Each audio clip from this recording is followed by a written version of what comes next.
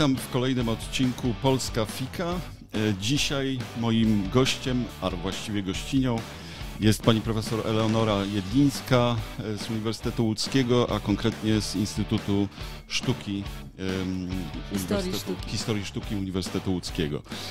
E, Chciałbym dzisiaj porozmawiać na temat szczególny.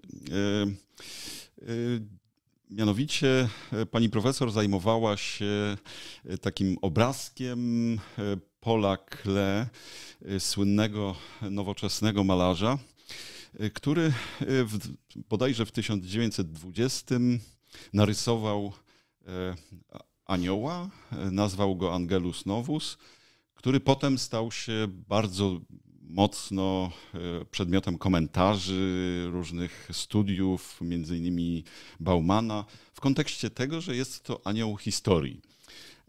Jako, że e, wszyscy dzisiaj mamy wrażenie, że historia e, dotyka nas bardzo szczególnie, no to ja chciałbym porozmawiać właśnie, wyjaśnić tym, którzy może nie znają, nie znali, czym był ten obrazek dla Paula Klee i czym stał się e, w recepcji. Co jest szczególnego takiego dla pani profesor w tym obrazku?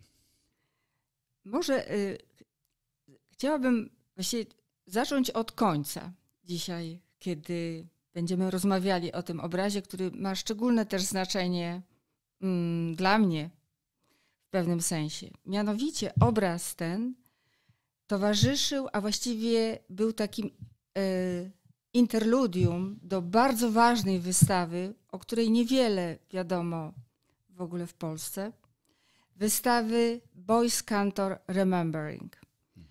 A przygotowana ona została, no, przypadkowa, przypadkowa zupełnie sytuacja, mianowicie została przy, przygotowana przez mojego męża, Jaromira Jedlińskiego. Wystawa, która generalnie jest, była, bo to był 2012 rok, była o pamięci. I rozpoczął ten obraz, ten obraz właśnie tę wystawę, konfrontując twórczość Boysa i Tadeusza Kantora. Było to właściwie, była to właściwie jedyna tego typu prezentacja, przy czym właśnie stawiano sobie pytanie, dlaczego, dlaczego właściwie tę, to spotkanie Kantor-Boys rozpoczyna obraz Paula Klee. I tutaj właściwie mogłaby, można by rozpocząć historię tego obrazu. Tak jak pan wspomniał, namalowa- narysowany w 1920 roku przez Paula Klee, jeden, właściwie jeden z jego obrazów o tak zwanej tematyce angelologicznej. Bo on tych obrazów poświęconych aniołom nam- narysował, namalował bardzo, bardzo dużo, około 200. Rzeczywiście jest to nieduży obrazek, bo ma wymiary 31,8 cm na 24,2 cm, czyli rzeczywiście jest to nie, nieduży obrazek, narysowany, podmalowany nieco akwarelą i, i, i kredką na papierze, bardzo skromny. Ale jego historia przekracza właściwie skromność tego obrazu. No właśnie, bo nie zaczyna się w, w 2012, w momencie, kiedy Tak. wystawa, wystawa była gdzie? W Jerozolimie. W Jerozolimie, bo W w tej Jerozolimie- chwili obrazek jest w Jerozolimie. I jest w Jerozolimie, czyli to tym bardziej miało taki bardzo no, znaczący charakter. A pierwszym właścicielem obra, obrazka? Y, Pierwszym właścicielem był Walter Benjamin. A nie, E, a nie, a nie Gershom Scholem? nie, Nie? nie, Okej. nie. To była taka historia, że mm, Benjamin jakby spotkał się z tym obrazem na wystawie, która była organizowana w Monachium. On przechował. Benjamin był chyba kolekcjonerem, prawda? On był takim nieudanym kolekcjonerem. On, on twierdził w ogóle, że jest taki nieudany, Tak, tak. ale ten obraz miał dla niego szczególne znaczenie. Gershom Scholem przechowywał ten obraz e, i jakby Be- Benjamin powierzył Szo- Scholemowi ten obraz w opiekę, tak się wyrażę, kiedy e, musiał e, opuszczać Berlin, kiedy potem wyjechał do Paryża, zabrał ze sobą ten obraz. Ale wówczas pod opiekę oddał ten obraz Batajowi, a, który przez całą wojnę przechowywał go w Bibliothèque Nationale w Paryżu.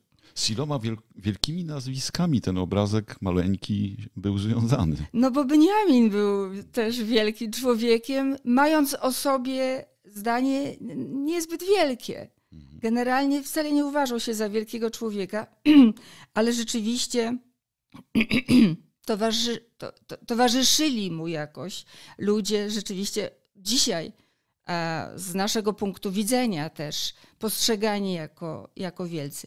Mm, Gershom Scholem e, napisał jeden z najpiękniejszych, właściwie jedną z najpiękniejszych interpretacji tego obrazu. I, i ten, ten sugestywny obraz e, i ten sugestywny e, opis. opis, tak, który został też zawarty w dziewiątej tezie y, historiozoficznej Waltera Benjamina został z kolei właśnie sformułowany przez, y, przez tego, tego filozofa. Przez Więc, Szolema? To nie, znaczy, przez Waltera przez Benjamina no tak. no właśnie, bo, bo y, Szolem też jakoś opisywał ten. Też, no przede wszystkim w tej wielkiej książce Żydzi i Niemcy. Aha. Więc tutaj. I Pozwolę sobie, bo to dobrze, rzeczywiście. Dobrze, dobrze, y, tak pisze Benjamin. Klena malował obraz Angelus Novus. Przedstawia anioła, który wygląda, jak gdyby chciał się oddalić od czegoś, w co się wpatruje. Oczy szeroko rozwarte, usta otwarte, skrzydła rozpięte. Tak musi wyglądać anioł historii.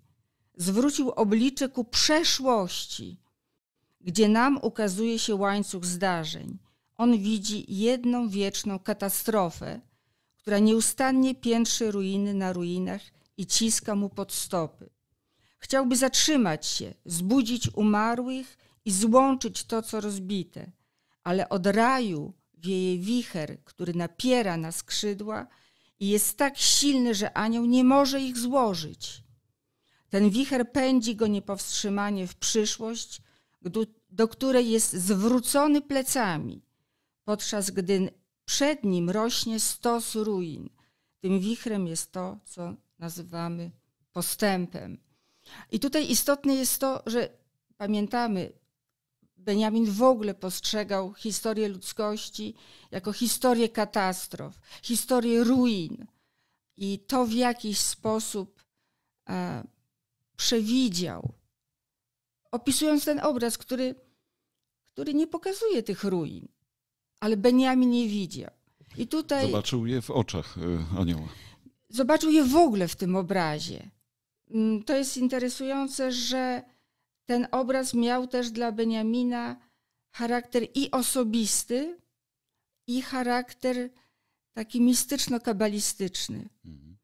I tutaj e, głos zabrał Gershom Scholem. No właśnie, Gershom Scholem, którego jak kojarzę z głównych pojęć judaizmu na przykład, bardzo słynna taka książka jeszcze wydawana, wydawana zaraz po 1989 roku w Polsce, albo jeszcze wcześniej w drugim obiegu. W każdym razie E, Gershom Scholem oczywiście napisał znacznie więcej, ale, mm -hmm. ale wydaje mi się, że to jest... On, tajem, on się no, zajmował tajemnicami kabały, mistycyzmu, tak dalej, mistycyzmem kabalistycznym, tak hasyckim. Także, mm -hmm. także to, Gershom Scholem to jest e, wielka postać, e, można powiedzieć, popularyza, popularyzator judaizmu takiego mistycznego, prawda?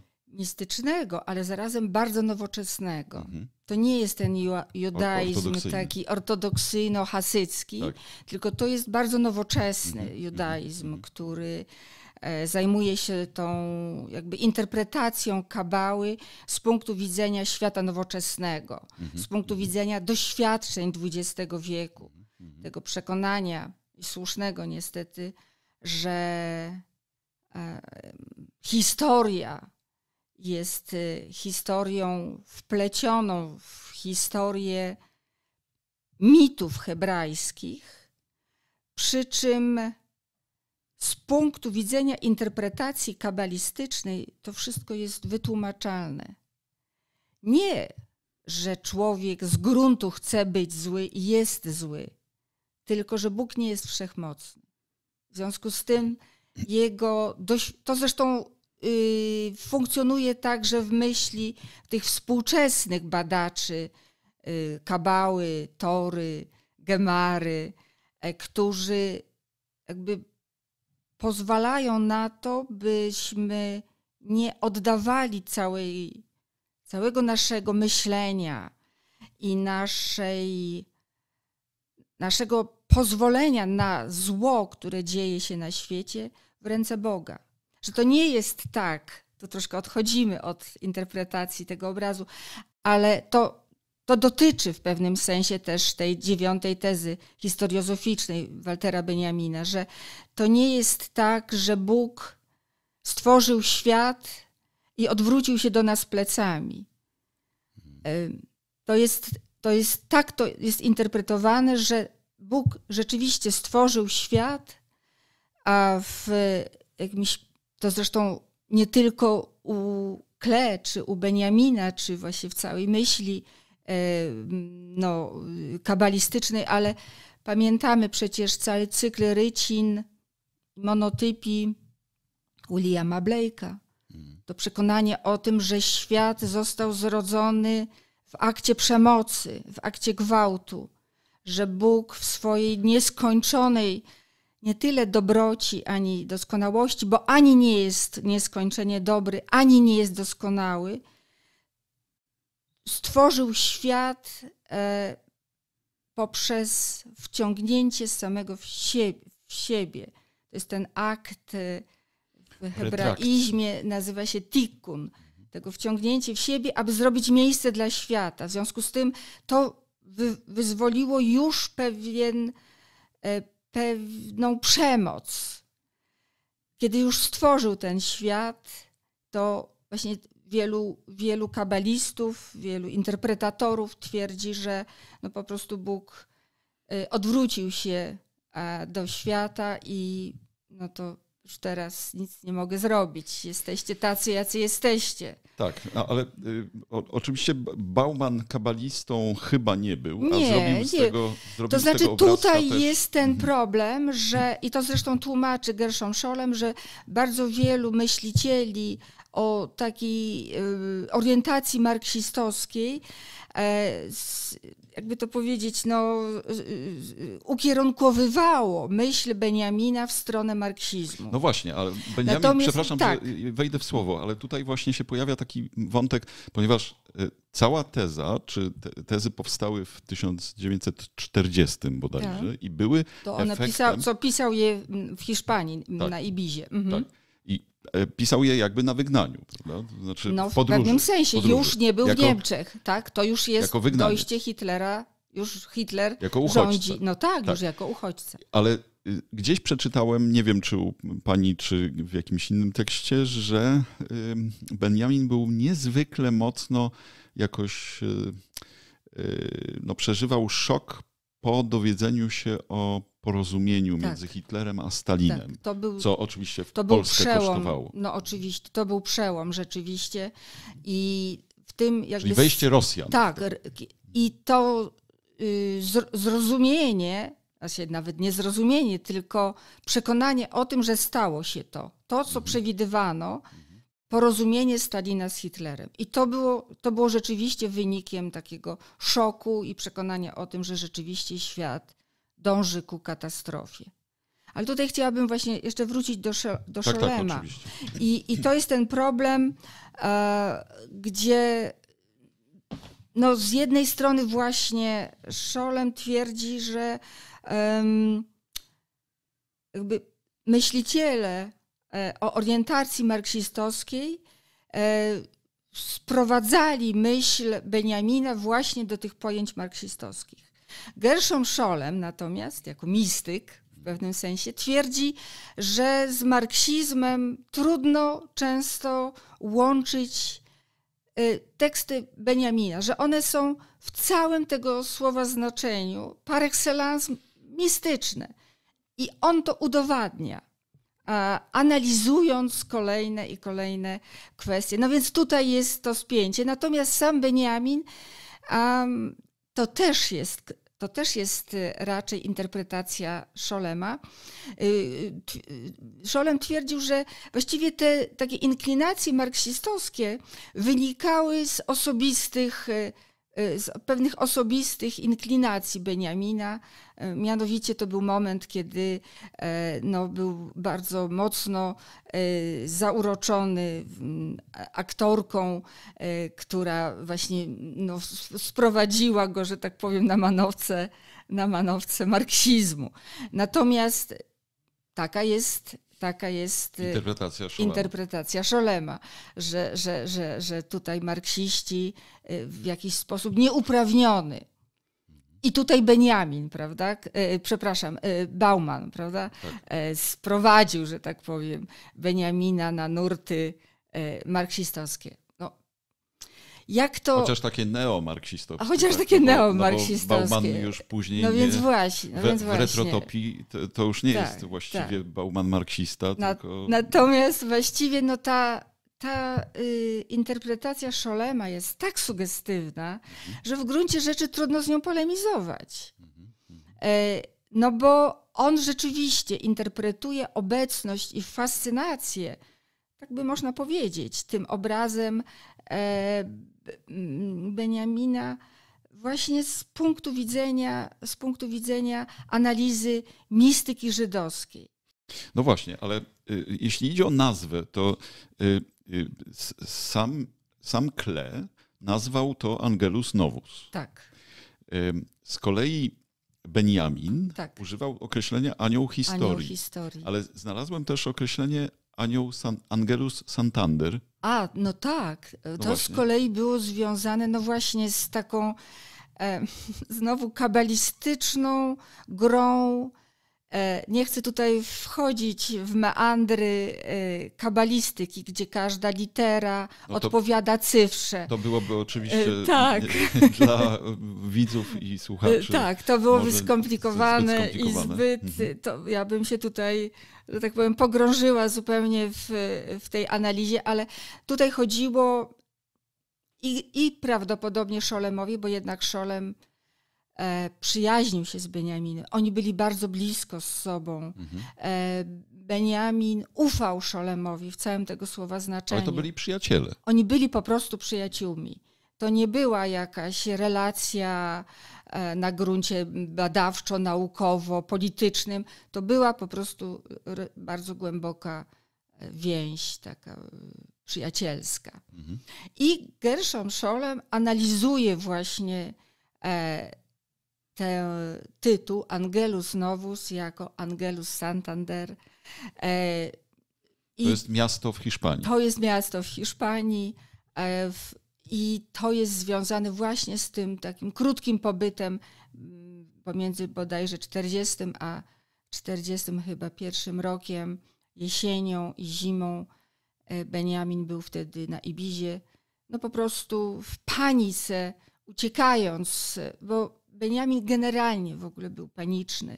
Można by tak to nazwać, co też związane jest, no, tak można zrozumieć jego śmierć. To znaczy miał odruchy Jego samobójstwo, tak? tak. takie, takie poczucie, że właściwie e, niewiele zależy od niego samego. W związku z tym ciągle w takim stanie jeśli zaczęło grozić mu niebezpieczeństwo w takim stanie, że musi ciągle gdzieś uciekać, dokądś uciekać. I stąd ta ucieczka też do Porbu, prawda, gdzie ostatecznie popełnił samobójstwo dzień czy dobę przed tym, jak dowiedział się, jak, jak właściwie przyznano mu rację, e, przyznano mu przecież tę wizę, na którą tak rozpaczliwie czekał. No właśnie, czyli Żyd uciekający przed prześladowaniem nazistów e, z Niemiec, e, mimo że związany z niemiecką kulturą niezwykle mocno. No tak, niemieckojęzyczny. Tak, urodził się w Berlinie, język niemiecki był je, takim tym jego langue maternelle. Ale mówił też jidysz. Za, zapewne. O tym Szolem nie mówi, czy mówił w jidysz. To była rodzina bardzo zamożna, e, więc... E, można myśleć, że, że zasymilowana całkowicie.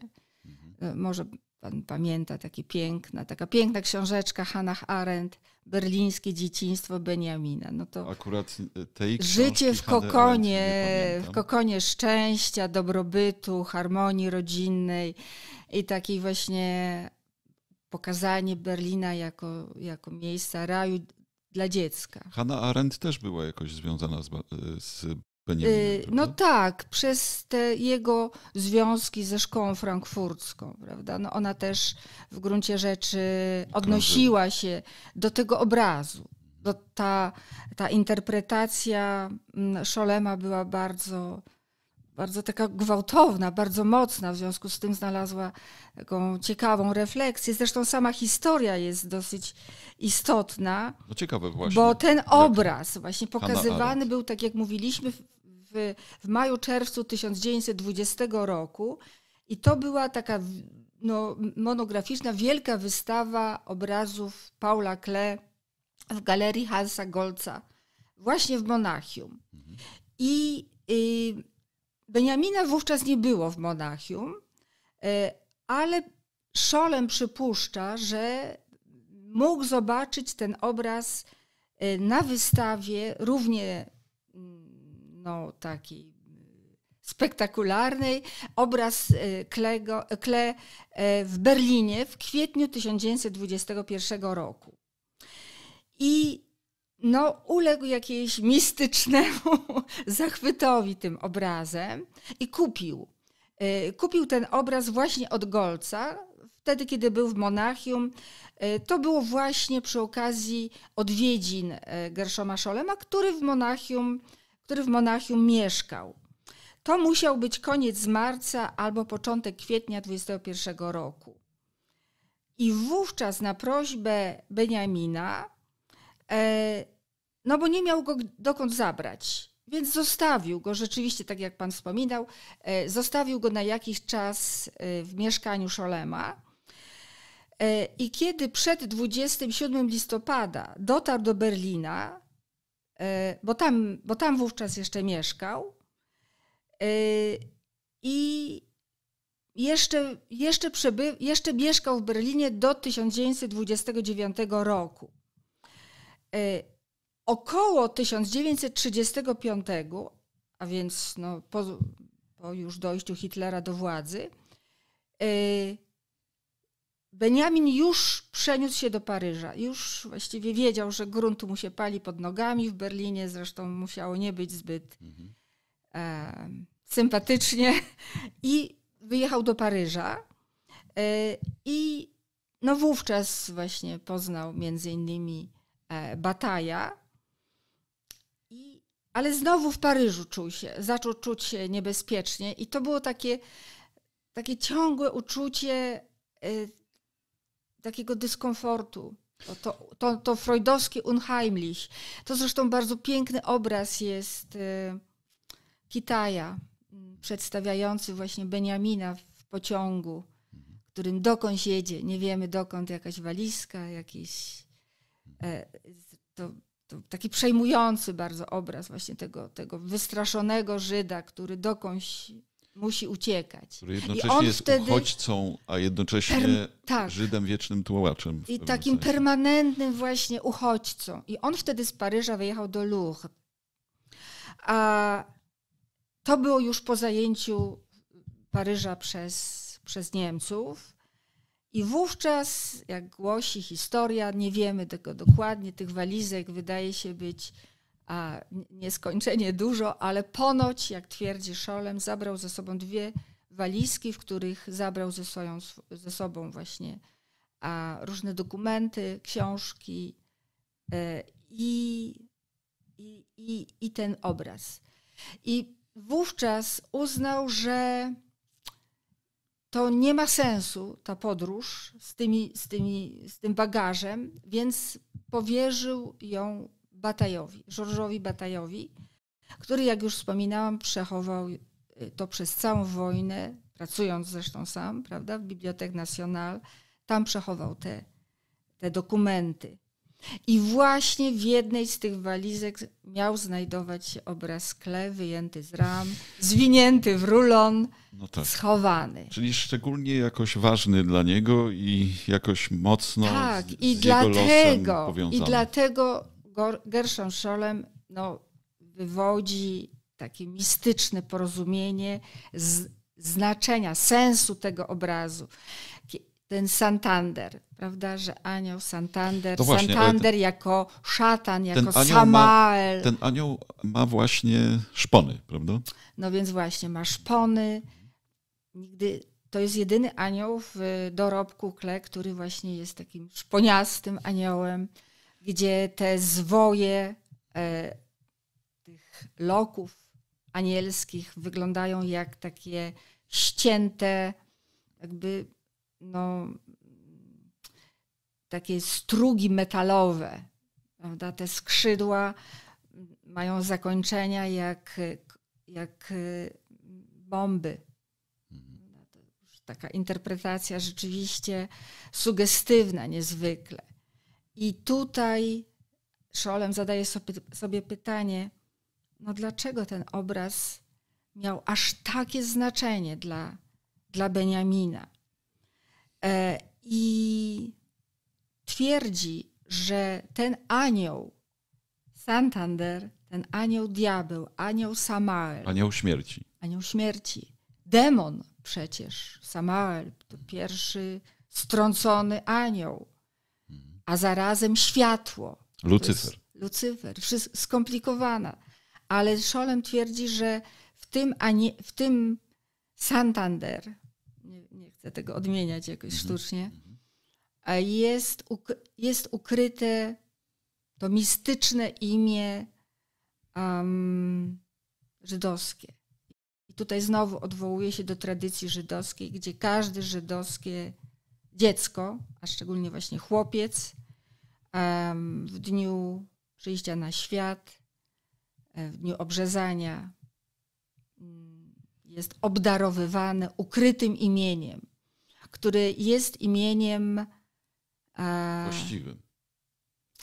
Niewyjawianym, a właściwie tylko wyjawianym e, w, w jakichś obrzędach religijnych. Więc to sugeruje, że jednak rodzina mogła być religijna. Mhm.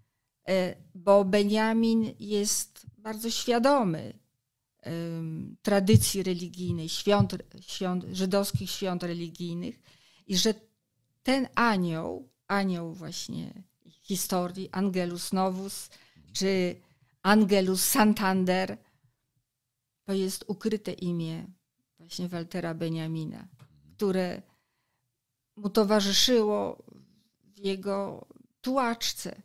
I stąd to je, ta jego wątpliwość, czy jakby los był mu sprzyjający, czy nie.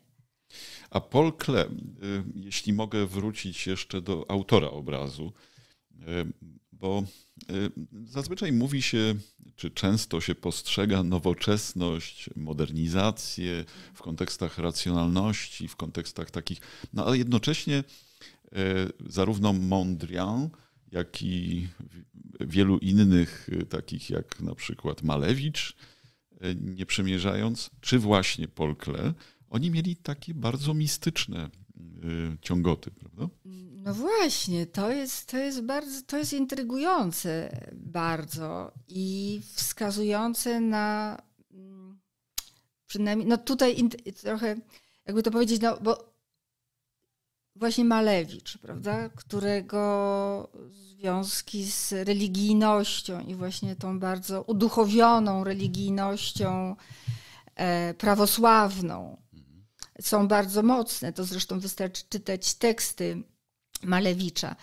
Ja myślę, że to wynikało rzeczywiście z takiego bardzo silnego poczucia właśnie w, w kręgu tych artystów modernistów, przeczucia nadciągającej katastrofy.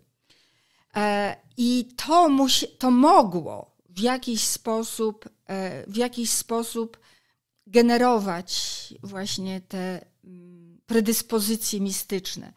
Przecież e, Paul Klee miał niesłychanie mocne przeczucie nadciągającego, nadciągającej kolejnej katastrofy. Takie słynne jego zdanie z, z tych wspaniałych, tutaj gorąco polecam, dzienniki Paula Kle, który pisał, im bardziej abstrakcyjne są nasze są dzieła sztuki, na język tak, polski. Tak, e, tym bardziej abstrakcyjny jest świat. Przy czym postrzegał abstrakcję na sposób właśnie mistyczny, gdzie abstrakcja wcale nie znaczy, że nic nie przedstawia, wręcz przeciwnie. Abstrakcja to zresztą Rotko, Barnett Newman, którzy mówili, że im bardziej nasze obrazy są a, czyste formalnie, tym bardziej znaczą. Barnett Newman, akurat y, znam go z, ze wzniosłości, bo na, no więc właśnie. takim ekspresjonistą, abstrakcjonistą. No był, no ale tutaj ja tutaj y, przy, mam na myśli jego 14 stacji drogi krzyżowych. Tak, ale prawda? akurat Paul Klee też wy, wywodził się, był jakiś czas związany z ekspresjonizmem, prawda? Nie. Nie? Nie, nie.